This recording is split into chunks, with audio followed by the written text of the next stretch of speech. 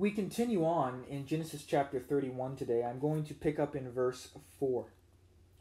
So Jacob sent and called Rachel and Leah into the field where his flock was, and said to them, I see that your father does not regard me with favor as he did before, but the God of my father has been with me. You know how I have served your father with all my strength, yet your father has cheated me and changed my wages ten times. But God did not permit him to harm me. If he said, The spotted shall be your wages, then the flock bore spotted. And if he said, The striped shall be your wages, then the flock bore striped. Thus God has taken away the livestock of your father and given them to me. In the breeding season of the flock, I lifted up my eyes and saw in a dream that the goats that mated with the flock were striped, spotted, and mottled. Then the angel of God said to me in a, a dream, Jacob. And I said, Here I am. And he said, Lift up your eyes and see all the goats that mate with the flock are striped, spotted, and mottled, for I have seen all that Laban is doing to you. I am the God of Bethel, where you anointed a pillar and made a vow to me. Now arise, go out from this land, and return to the land of your kindred. Then Rachel and Leah answered and said to him, Is there any portion or inheritance left to us in our father's house? Are we not regarded by him as foreigners? For he has sold us and he has indeed devoured our money. All the wealth that God has taken away from our father belongs to us and our children. Now then, whatever God has said to you, do. So Jacob arose and set his sons and his wives on camels. He drove away all his livestock and all his property that he had gained, the livestock in his possession that he had acquired in Padan Aram, to go to the land of Canaan to his father Isaac. Then Laban Laban had gone to shear his sheep, and Rachel stole her father's household gods. Verse 20 And Jacob tricked Laban the Aramean by not telling him that he intended to flee. Verse 21 He fled with all that he had and arose and crossed the Euphrates and set his face toward the hill country of Gilead. Now we see here a lot going on, but did you notice the tone of what's going on? Jacob speaks about some things, and we're going to hash it out but he he's speaking in a way favorably about himself and in a condemning way of Laban. He's making himself look better and his wives as well. They're mad at their father. Now bear in mind, this will be for, for next time, but bear in mind in verse 19 that Rachel stole her father's household gods. I'm not really going to hit on that particular point too much today. Next time we'll get to that. But we see Jacob, you know, we, we've seen that the Lord has told him to go. So what does he do? He goes to his wives. Now, I, I want to make a clear distinction. Many commentaries and many Bible teachers I've heard that have preached on this passage teach it not in an interpretation manner, but in an application manner. Here's what I mean. I, have not seen very many walk through this passage verse by verse. What I've seen the vast majority do is talk about principles and application of, well, if God speaks to you, you know, then your circumstances are going to align. You know, Laban's sons and Laban didn't like uh, Jacob anymore. God's going to speak to you clearly. You have that. You need to cling to God's word. He's going to remind you of what He's promised you in the past. You cling to God's promise. You go to your wife, and your wife's counsel should match up. And it goes through all these quote unquote principles of application. But I really believe that is an application of the passage, and it misses interpreting this passage correctly. Because what's going on is Jacob has worked to steal the flock of Laban. We saw him manipulating. He was selectively breeding back in chapter 30. Now, yes, God in His sovereignty and His providence is the one that was sovereign over conception and birth, and He allowed Jacob to obtain the wealth of Laban. He knew that Laban was mistreating Jacob. But Jacob is not in the clear as much as he kind of says. You know, he's kind of like, well, your dad, ladies, has been doing this to me. Really, what's happening, though, is Jacob is angry at Laban, and so are his wives. They are disgruntled. They are even hateful in a sense. His wives say that no, our father sold us. All of his wealth really belongs to us and our children. And Jacob sets in verse 20, it clearly says, And Jacob tricked Laban by not telling him that he intended to flee. We still see in this passage a very clear teaching that Jacob is still in the process of his manipulating ways, of his trickster ways. His very name means deceiver, trickster. He's still living that way. It's not going to be until over in near the end of chapter 32 that we see Jacob wrestle with God. His manipulation ends up having to wrestle with God Almighty. He, he literally wrestles with God in the flesh. with a theophany, a pre incarnate revelation of Jesus Christ. He wrestles with God. And we're going to see what happens there. The Lord is going to change his name, and the Lord is going to change his, his character. Jacob, right now, is known as the manipulator and deceiver. It's been everything, and I'll, I'll recap that in just a moment as we look at the pattern in his life. But it's going to be changed after he encounters and wrestles with God. His struggle with God will result in him being broken, humbled, and given a new wisdom. His character changes. Let me just kind of recap what we've seen about Jacob's life. Number one, we saw back in the womb, Jacob and Esau were struggling, and their mother sought the Lord about what was going on. God said there were two nations within her. The older would serve the younger. They were twins. Jacob came out grabbing onto Esau's heel. They were fighting even back then from the from before they were ever even born. Jacob's manipulation is very clearly seen in that he when Esau came in famished from the field, Jacob had a pot of red bean stew and he told Esau, I'll give it to you, but you got to sell me your birthright. He was manipulating his brother when his brother was hungry. Uh, Jacob went along with his mother to deceive his father Isaac for the family blessing, for the blessing of the firstborn son. That produced a lot of anger. Jacob then flees Esau and goes to Laban, and Jacob gets a dose of his own medicine. Laban deceives J- Jacob when he goes to marry Rachel. Instead, he ends up finding Leah there in the morning, laying beside him. He's very irate. He ends up getting two wives because he he does not want the wife that he got instead of accepting what happened and even though he may have not liked it instead of loving the wife that god had given him who we saw and talked about before had you know, leah had better character than rachel we're going to see played out through her entire life a, a very selfish and deceptive bent a very mean-spirited lady she may have been knocked dead beautiful but she was a viper but jacob pressed on to get a second wife because of that. His wives, in return, are manipulating one another. Their sister wives married to the same man, fighting for his affections.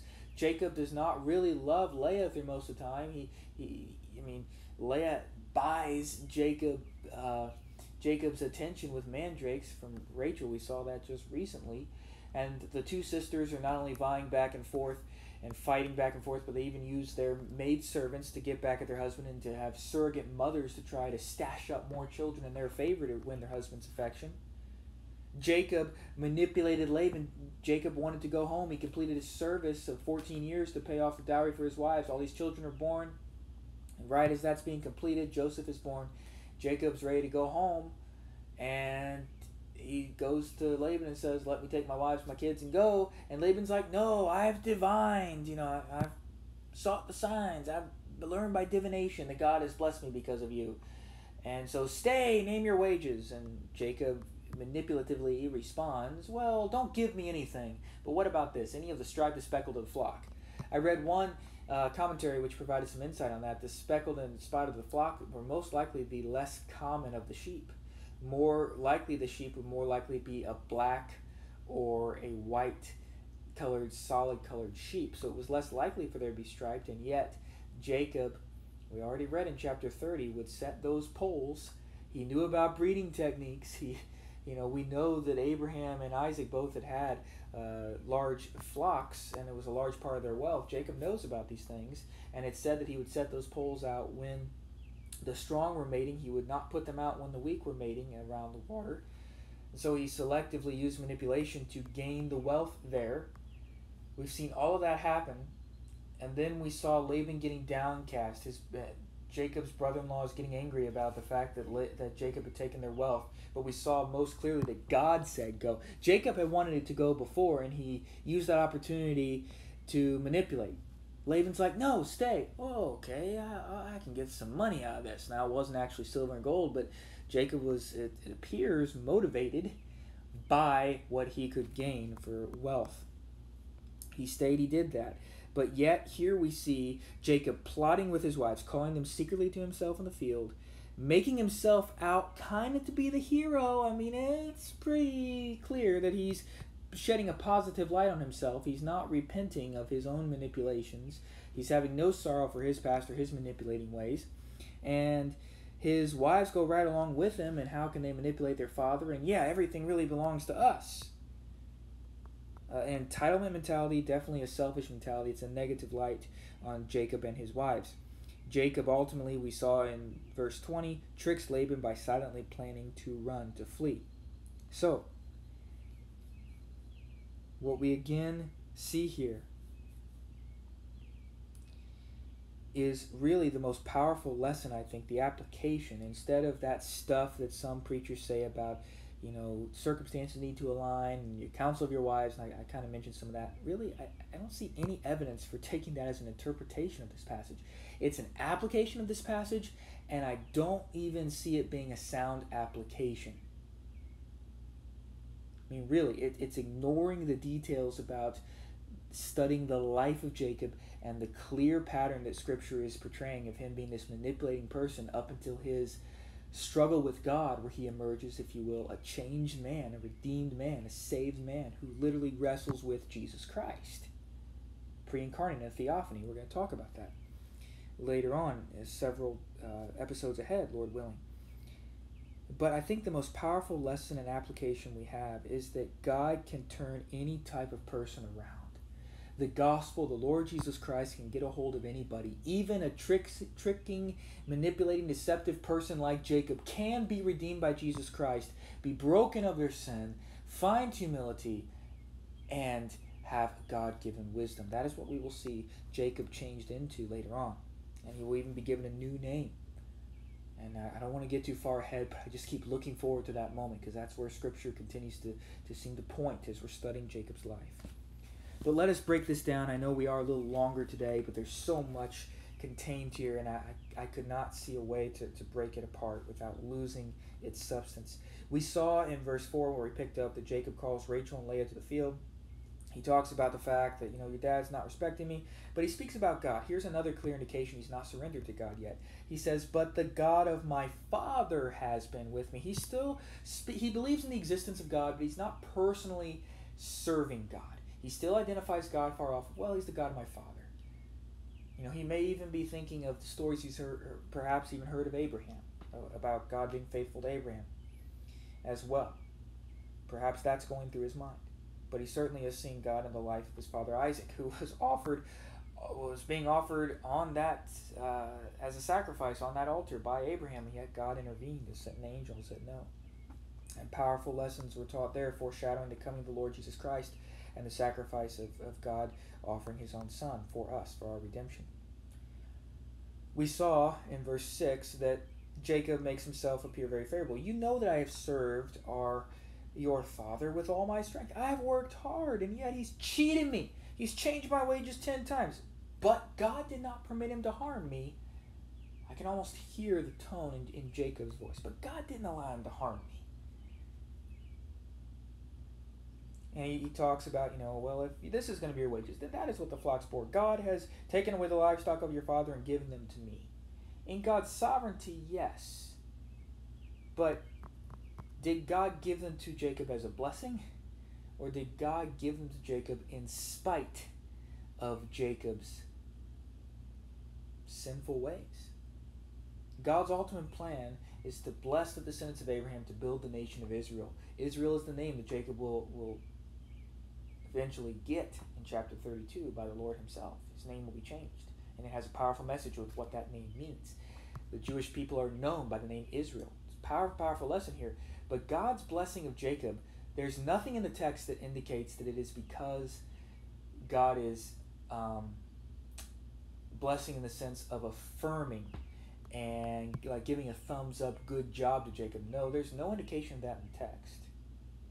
The only thing we see is when Jacob mentions, "Well, I've had a dream. I've had a dream about the spot of the model, you know, getting the type of, of flocks that I've gotten, and the angel said to me, Jacob, I said, Here I am, lift up your eyes, all the goats that make, or, you know, this, this way, striped, spotted, mottled.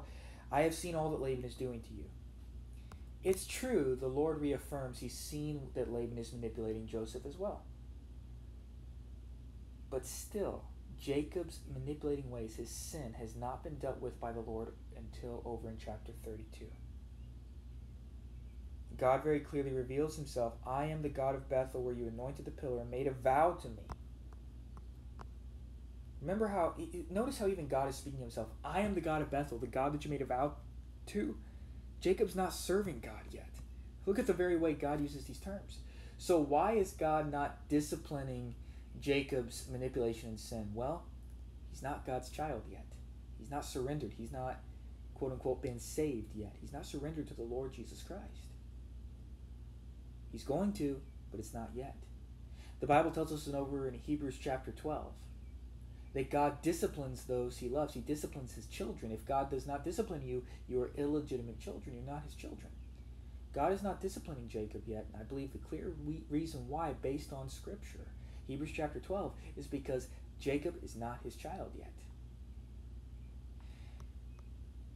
God in his sovereignty works all things together for the good of those who are called according to his purpose. For his kids, for those that he is calling to salvation, he causes all those things to work together for his purposes and his good. I think so often of you know how this plays out in our lives. Someone is living a life of sin far away from God. They have no they may believe in the existence of God, but they have no relationship, no surrender to the Lord.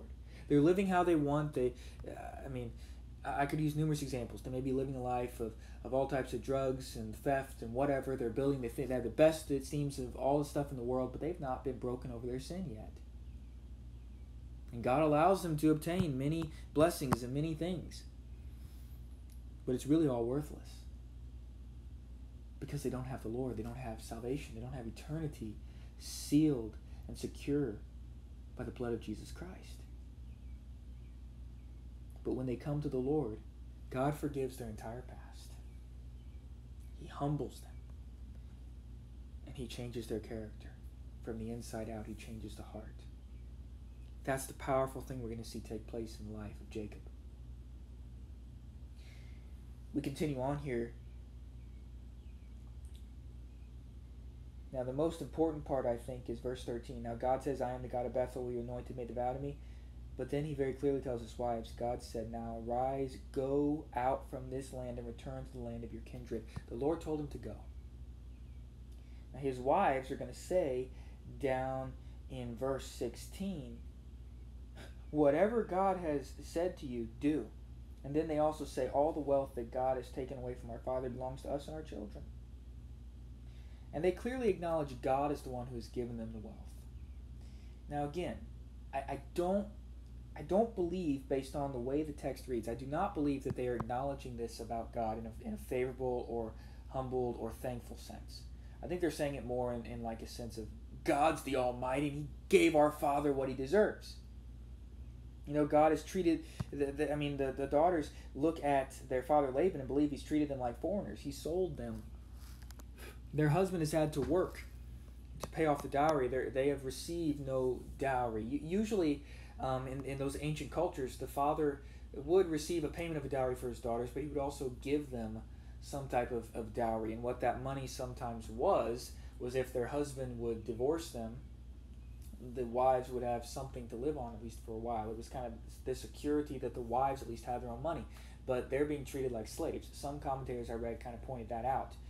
I don't know for certain if that's why they have the indication they have, but but it is very clear that they feel that they've been treated like slaves, like they've been sold. Their husband has worked hard and slaved away, and they've simply become the servants of their father. They've worked for free for all these many years, for almost two decades. Jacob has served Laban. It's only in the past that he's now finally gotten some wages, even though he had to maybe kind of fudge the numbers or, or quote unquote manipulate things to get what he got. Nonetheless, his wives side with him in a very mean spirited way, as the the feeling of the text. And then Jacob arose, he sets his sons and his wives on camels. Notice what it says about how he sends his livestock away. He drove away all the livestock and all the property that he had gained, the livestock in his possession that he had acquired in Padan Aram. He sets out. Laban had gone to shear his sheep. Rachel steals her household, the household gods of Laban, and Jacob tricks Laban by not telling him that he intends to flee, he simply flees with all that he has. He drives ahead of him, arose, he crosses the Euphrates, and sets his face toward the hill country of Gilead. We still see Jacob consumed with himself. Now he does obey the Lord to go out from Laban. But let me ask you this did he honor God in the way that he left? I think that's the application for us. Remember, we're following our SOAP acronym Scripture, Ob- observation, observing what Scripture itself says, and endeavoring to interpret it based on what Scripture says by observing the text, not jumping to application too quickly. But then, application how does this apply to our lives? I trust you'll spend some time wrestling with that in your own life because looking at the life of Jacob may convict you. I know reading about Jacob can convict me sometimes. Have I, okay, I've been obedient to God to go. Have I left though the way God wants me to? That's a convicting question. Have I acknowledged God as the one that's sovereign and given me what I have, but, you know, am I really acknowledging that with thankfulness? Or more like, ha, they got what they deserved and I got a piece of the pie. I was treated horribly. Do I mean spiritedly say that? It's a convicting question. Father, I thank you for your word. I pray that you will take this life of Jacob and, Lord, apply these lessons to our lives. Lord, convict us, I ask today, powerfully by your word, transform us. Through the example we see in Jacob's life, Father, change our hearts. Let us not be like Jacob and in the same path that he walked, but let us repent. Let us be transformed, Lord. Humble us, break our sin, convict us. And in the power of your Spirit, help us to walk in newness of life as the new creations you have called us to be in Jesus Christ. We praise you and we thank you. And Father, the most important thing I ask for every person listening is that they surrender to you, that they stop struggling against you and for their own agenda and that they surrender to God. And Father, if there are believers here who have been backsliding, God, I pray that the song of their life would stop being I surrender some and instead would be I surrender all. In Jesus' name I pray. Amen.